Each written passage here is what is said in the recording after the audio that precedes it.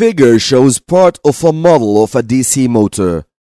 A loop of wire ABCD is free to rotate about the axis shown. There is a current in the loop in the direction indicated by the arrows. On figure, draw arrows to show the directions of the forces acting on side AB and on side CD of the loop. Let's start with side AB.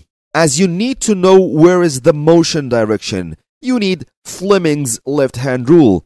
By applying Fleming's left-hand rule on the side wire AB, this is how your hand will be.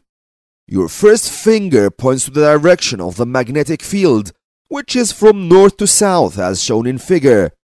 At the same time, your second finger must point with the direction of the current, inside AB of course. This shows that the side wire AB will be pushed by a force upwards.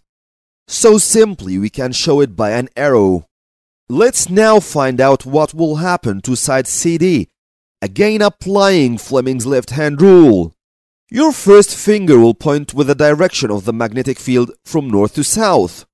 The second finger will point with the direction of the current from positive to negative, which is from D to C. So this shows that this side of the wire will be pushed downwards. So simply we will draw an arrow which points downwards. And this is the answer in the mark scheme. Arrow pointing up on side AB and down on side CD. I think this question is a good practice of how to use Fleming's left-hand rule on deciding the direction of pushing force on a wire.